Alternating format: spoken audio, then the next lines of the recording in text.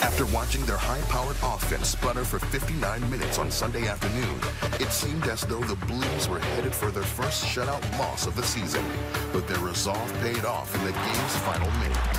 Bad scramble. O'Reilly, he scores! The captain has tied the game!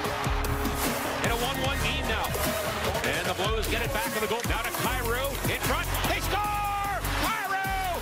The last-minute thriller made history and extended their home point streak to 12. Tonight, it's another first as they meet the NHL's newest member, the Seattle Kraken. And it begins now on Bally Sports Midwest.